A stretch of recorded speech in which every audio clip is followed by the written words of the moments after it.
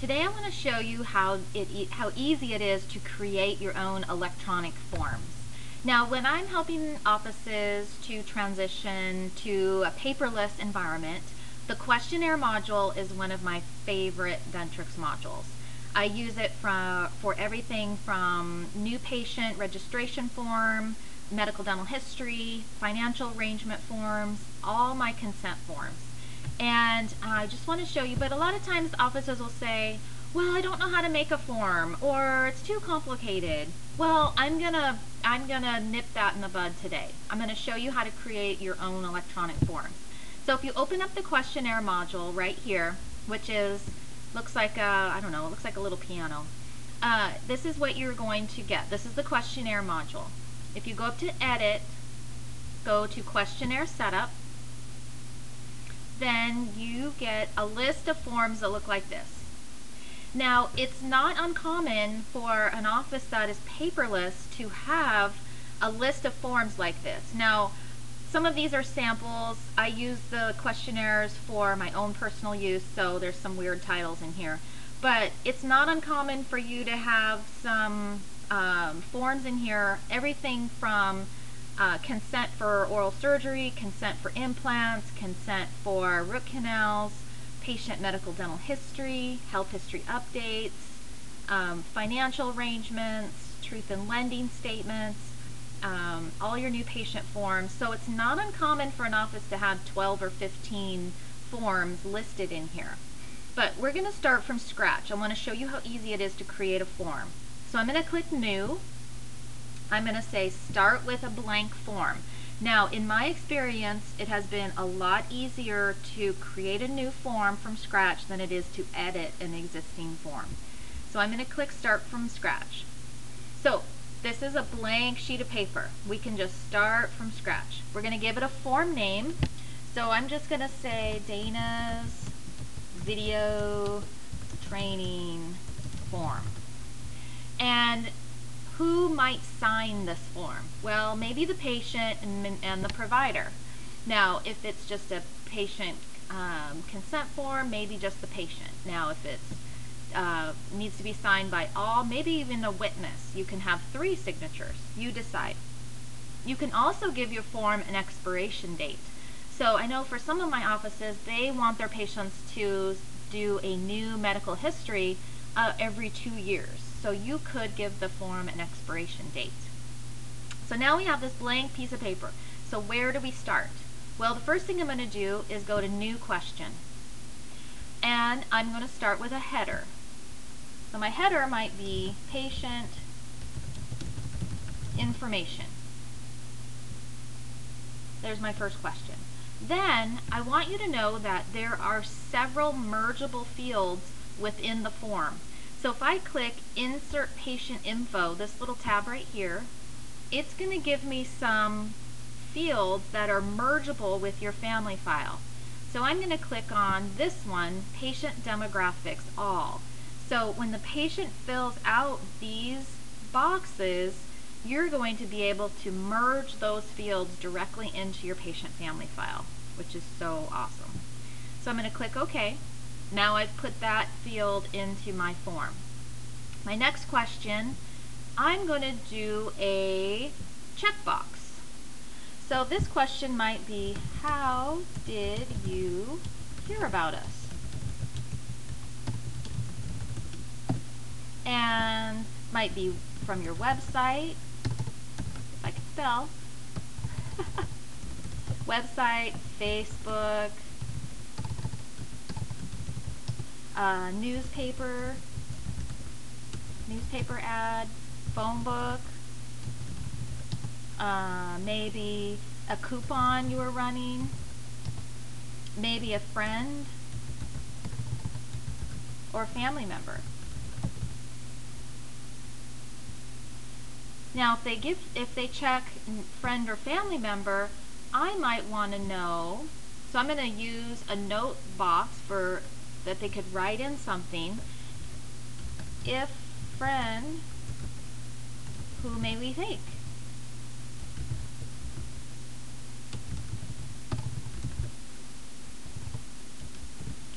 Okay, so they can put in the name of the person that referred them to your office. Now I could also, I could do a new question and I could make it a subheader and I could call it insurance information. And then I could click on this patient information boxes again and I could click dental insurance information and click OK. Now my next now maybe I'm done with all my patient information. I'm going to move on to my next topic which might be medical dental history. So I made that a header. And then my next question might be, I'm going to give them some, a couple lines to put in um, current physician, name, address, phone number. I'm going to give them two lines to fill that out, out that information. Now my next question, I'm going to insert more patient information and I'm going to have my medical alerts. You know that red plus, the medical alerts list that you have in Dentrix? That is also a mergeable field into the form. So I'm going to insert my medical alerts into my form. But before I do that, I'm going to add a question that is just a body text and it's going to say, please check all that apply.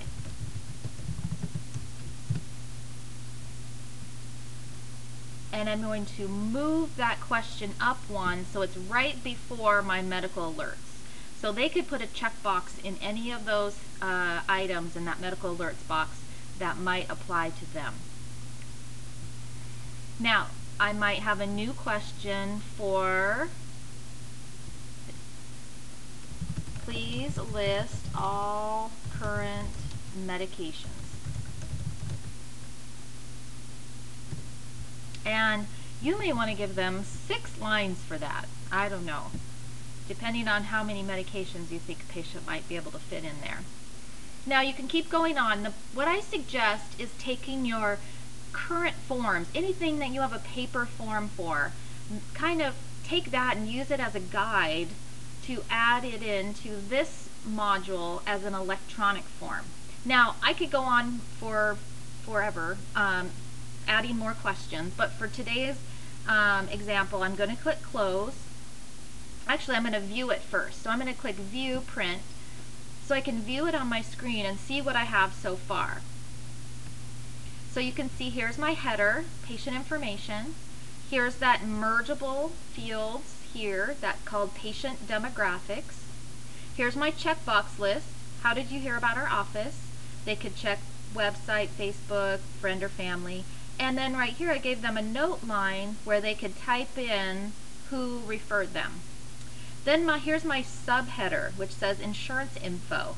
Now, if I was finished with creating this form, I might want to put a page break right here so that it would push that insurance info onto the next page. Because you can see here, here's my insurance information. This is all mergeable into Dentrix if you want it to be. So I would probably move that, that subheader over to the next page. And then I have medical and dental history. They could type into this box their current physician's name, address, and phone. And then here's my medical alerts list. Please check all that apply, and they just checkbox those that list. And then they can type in here, this is just an empty place, they could type in their current medications, what they're taking them for, dosage, things like that. Now if I was creating this form at, at an office, then there would be more things in here um, like uh, you know, recent surgeries, maybe allergies, uh, consents. I would add on all your consents onto this form, like um, your HIPAA consent, your consent for treatment, what if, if you have a financial policy. But for the for today's demonstration, I'm not going to go into that much detail. Now, I'm going to click close. Now I have my Dayna's video training form in my list. I also want to show you that there are some other headers that you can put on your forms. If you click into this View Print Setup, click into this report style, and I could click on the default report style, and let me show you what that looks like. It puts a colorful um, header at the top and bottom of your form. Maybe you want something to look a little bit more snazzy than that blank form that I showed you originally. So take a whoops, take a little bit of time to go through these samples. Uh, classic, elegant, modern, retro. I'm going to switch it back to none. And then also up here, these are your electronic signature devices that are available because when you create an electronic form, you're not going to print it and then have the patient sign it and scan it. That's not the intention here. The intention is for you to go paperless. And so to go paperless, you're going to need some kind of an electronic signature device. My recommendation is the ePad or the ePad 2. Those are available through Dentrix. And the nice thing about these ePads is they are completely um, integrated. They're, they, you can use them with any module in Dentrix. The clinical notes module, any of the consent forms. If you're using PowerPay, they are um, they work with PowerPay. They're really easy to use. They're a USB port, so you can move them around from treatment room to treatment room very easily. In my office, we have four treatment rooms. We have two ePads in the back, and we have two ePads in the front so they work beautifully uh, within Dentrix. So I'm going to click close and now you have the forms available to use uh, anytime you want. You can link these forms up to your website, you can link them up to an iPad, you could have a workstation in your office where patients could come in and fill out forms uh, electronically. You can merge them in with Dentrix and um, and you can make your office a lot less scanning, more electronic. So have fun with it. If you have any questions, you can reach out to me at Dayna, D-A-Y-N-A, at raydentalmanagement.com. Thank you so much.